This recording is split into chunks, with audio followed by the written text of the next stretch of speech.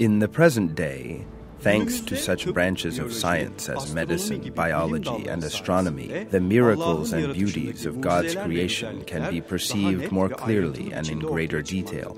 People who learn these facts and evaluate the wisdom and beauty created by God become greatly more in awe of His infinite might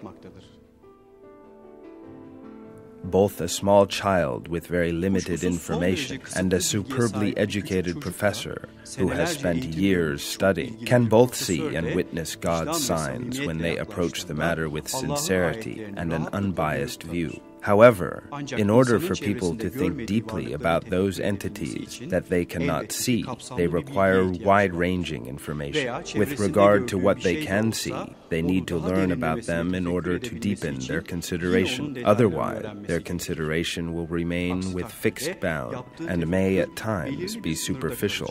Otherwise, their consideration will remain within fixed bounds and may at times be superficial. For example, those who have no knowledge knowledge of the systems in space, but who nevertheless look up at the sky and ponder them, will inevitably have different thoughts than those who have a deep knowledge of astronomy. Similarly, the way in which someone with a broad knowledge of the human body's physiology and anatomy comprehends the fine detail, miracles, and marvels apparent in humanity's creation will be deeper and broader than that of someone with no knowledge of the subject. Indeed, God informs us that from the point of view of reasoning and comprehension, those with knowledge are superior to those who have no knowledge.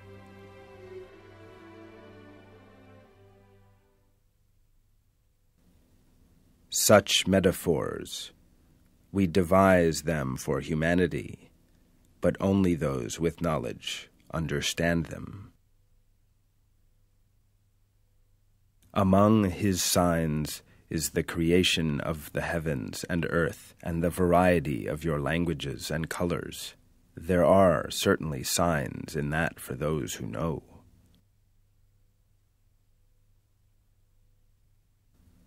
What about the one who spends the night hours in prayer, prostrating and standing up, mindful of the hereafter, hoping for the mercy of his Lord? Say, are they the same, those who know and those who do not know? It is only people of intelligence who pay heed.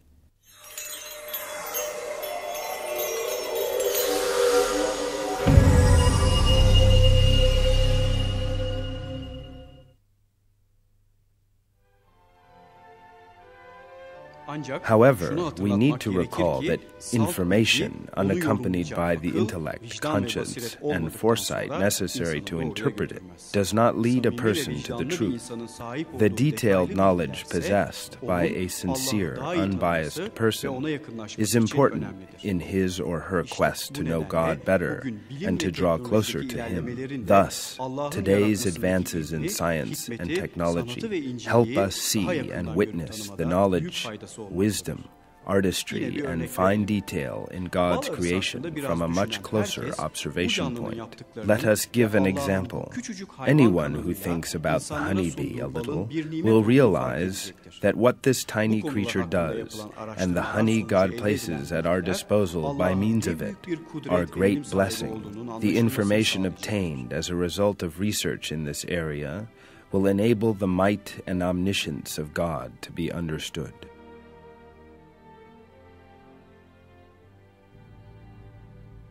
40,000 bees have to visit 6 million flowers to produce one kilo of honey.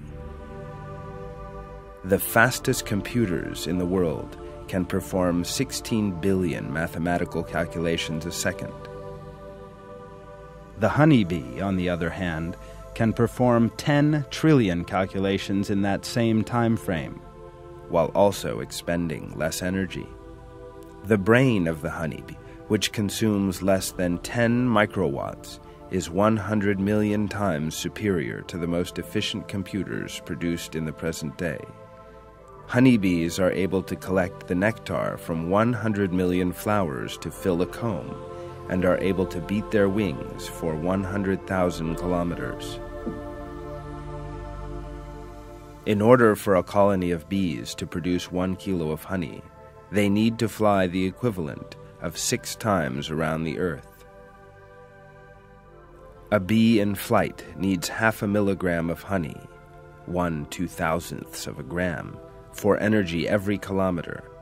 On one kilo of honey, a bee could fly three million kilometers at 25 kilometers an hour while beating its wings between 200 and 250 times a second. The weight of the eggs laid by the queen bee in the course of a single day can be as much as 20 times her own weight. A bee can pull a load of 330 times its own body weight. Every honeycomb cell is 12 millimeters deep. The walls of the comb are as little as one twentieth of a millimeter thick. Yet the comb suffers no harm when it is filled with honey, since its cells are built to a hexagonal structure that confers on it maximum resistance.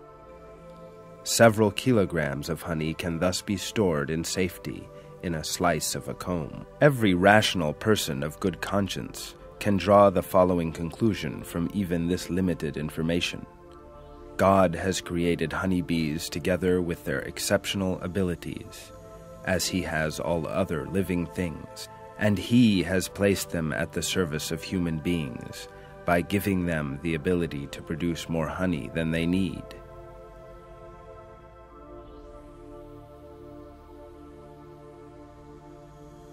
God has infinite affection and compassion for his servants. He is the sole Lord of everything in the earth and sky and of all living things. Every kind of property possessed by living things is a manifestation on earth of his infinite knowledge and might. In the Quran, God invites us to reflect on this by drawing our attention to the honeybee.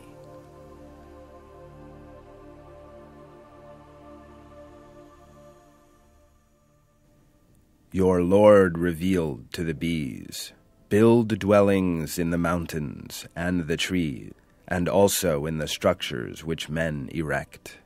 Then eat from every kind of fruit, and travel the paths of your Lord, which have been made easy for you to follow.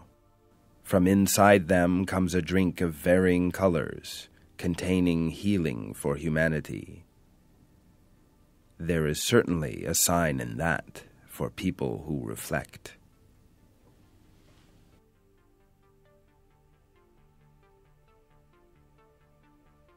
These visible and invisible manifestations around us are all vital signs of faith for those who search with reason and good conscience.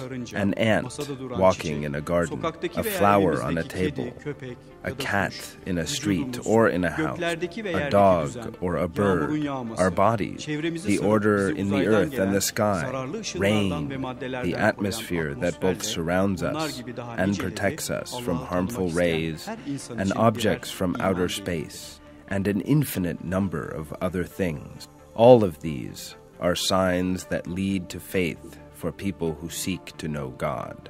All believers are responsible for using God's verses to understand whatever they see and hear and to think deeply about them. Every unbiased person is aware of this. Believers also know that they will be unable to account for their behavior if they live among the millions of living things created by God that exist between earth and the boundless heavens and yet fail to think about them.